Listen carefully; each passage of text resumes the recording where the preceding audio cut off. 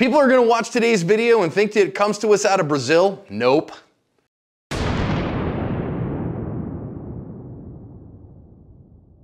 Hi everyone, welcome to today's lesson here at Active Self Protection. I'm your host, John Correia.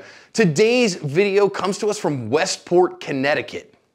MagTech is the only pistol or rifle ammo I use on the range and I recommend them highly.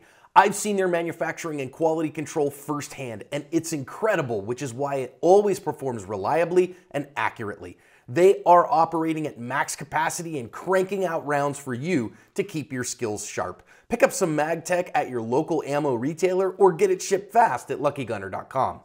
Guy has just pulled into his garage in his Aston Martin when this dude walks up behind him. Apparently, they he and one other guy pulled in this other guy that just showed up in a stolen BMW, a BMW that ended up being stolen. And they decided, hey, you know what? We really like your Aston Martin. We would like to take it for a ride, which of course he objects to.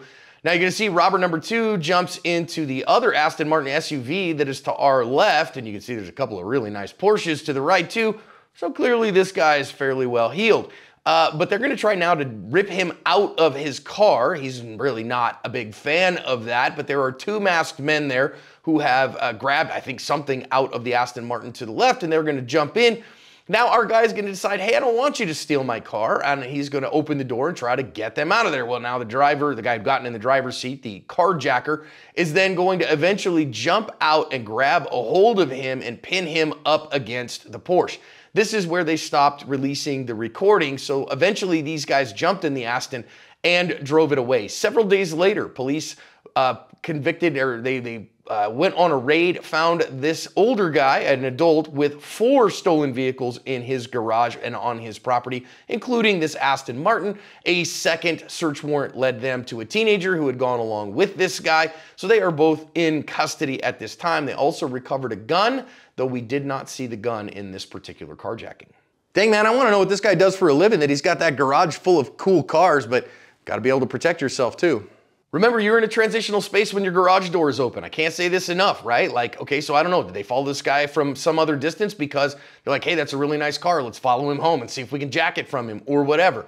And a garage can be a safe space, except for when the garage door is open, it's still a transitional space. It's a place where people come and go. You particularly are coming and going. Place that allows for easy attack, easy egress, and a lot of valuables. So recognize you got to get that garage door down.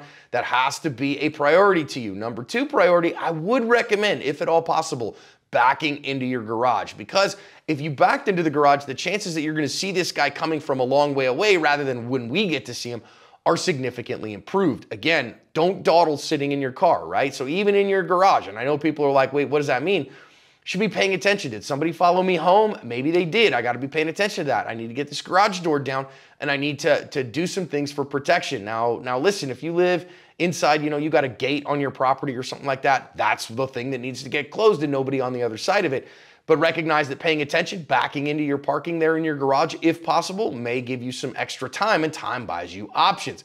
Now then, this dude comes over and grabs a hold of him here, and, and I don't see either of our attackers as armed yet, but we have multiple attackers. Nevertheless, even if they're unarmed, this is a carjacking.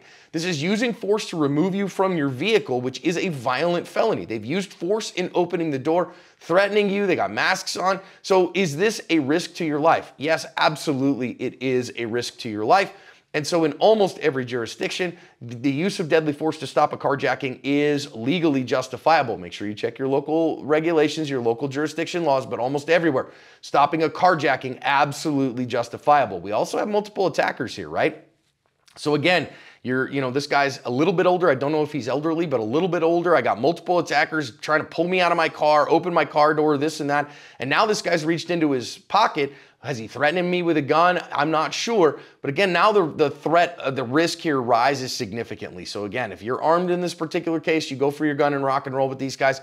Probably given the fact, especially that you're in your garage and at your home, you're probably going to be justified in that action. Though, of course, you're going to have to hire an attorney and all that stuff. This is why we recommend firearms legal protection so you've got a defensive services membership. That said, when you're not armed here, I don't know why you're going to fight these guys to, you know, just try to stay in your car. It's not like you're getting away from them there. You probably got, you know, family inside the house you don't want them to get to.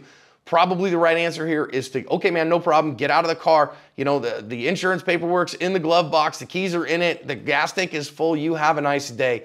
Because again, the most you're dealing with here is an insurance claim and you want to get out of here without injury and and you know, you want to get away from this particular situation and run inside. Now, of course, do I wish this guy was armed? And do I wish he was able to stop these guys? 100% absolutely. So carry your gun. Make sure that you're, you're armed, capable, armed, present, and willing and skilled in order to protect yourself. If you don't have those skills, get the heck away from this as fast as you can because when you're stuck inside the A pillar of that door there and they're backing away and it ends up putting you in the hospital, you're just as injured.